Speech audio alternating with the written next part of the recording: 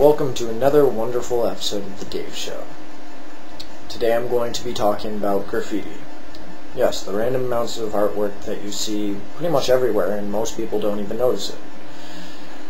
Yesterday, or a couple days ago, I think it was yesterday or the day before, I was walking downtown and I seen one of those newspaper machines where you put money in, buy a newspaper, and on the cover of the darn machine it said nothing but lies, lies. And I was like, how true sometimes when you really think about it.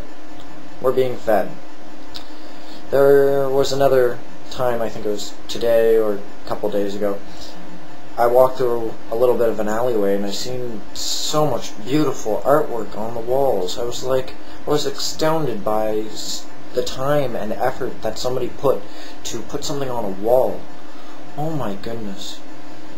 It feels like as an artist you're being contained somewhat as painting on a canvas because you don't have the space to work with. And advertised, man, painting on a giant building, like, what's bigger than that?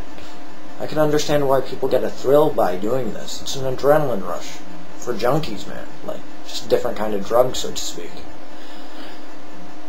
But are they really classified as artists? Of course. They just have a different persona of tackling their work.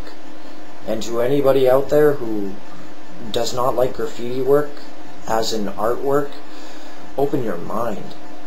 I think we need to start covering our cities in wonderful, beautiful graffiti everywhere.